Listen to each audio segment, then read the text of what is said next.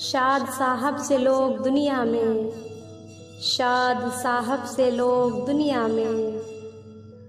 आगे होते थे, अब कहाँ होंगे? नाजरीन, ये हैं उर्दू अदब के मोतबर शायर जनाब नरेश कुमार शाद साहब। इनकी पैदाइश 11 दिसंबर 1928 को मशरकी पंजाब ज़िला होशियारपुर में हुई। इनके वालिद दर्द नकोदरी साहब भी शायर थे। इनकी पहली तसनीफ़ बुतकदा थी। शाद साहब सिलसिलाए मुलाजमत, रावलपिंडी और जालंधर में मुकीम रहे।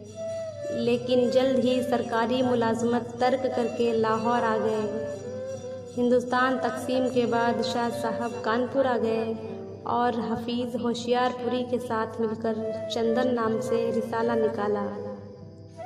शाह साहब के शेरी मजमू हैं। फरियाद, ललकार, बुतकदा, दस्तक, आहटें, आयत जुनू और विजदान वगैरह। बच्चों के लिए लिखी गई किताबें हैं। चाँद नगरी में सिनेमा आया, चीनी बुलबुल और समुद्री शहजादी।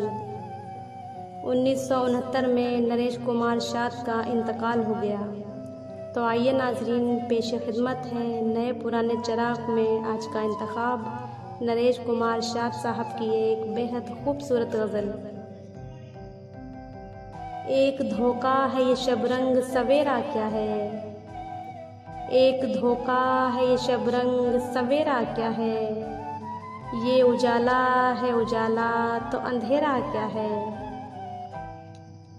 तू मेरे गम में न हंसती हुई आँखों को रुला। तू मेरे गम में ना हंसती हुई आँखों को रुला। मैं तो मर मर के भी जी सकता हूँ, मेरा क्या है? जर्रे जर्रे में धड़कती है कोई शय जैसे। जर्रे जर्रे में धड़कती है कोई शय जैसे। तेरी नज़रों ने फ़जाओं में बिखेरा क्या है? दर्द दुनिया की तड़प दिल में मेरे रहने दे। दर्द दुनिया की तड़प दिल में मेरे रहने दे। तू तो आँखों में भी रह सकती है, तेरा क्या है? तंग है शाद मेरे ज़ौक की बुसअत के लिए। तंग है शाद मेरी ज़ौक की बुसअत के लिए। हल्के जुल्फ है आफाक का घेरा क्या है? तो नाजरीन, ये था आज का इंतखब। उम्मीद है हमारा आज का इंतखब आपको पसंद आया होगा। तो मिलते हैं नेक्स्ट वीडियो में ऐसे ही एक खूबसूरत इंतखब के साथ। तब तक के लिए अल्लाह हाफिज़, शुक्रिया।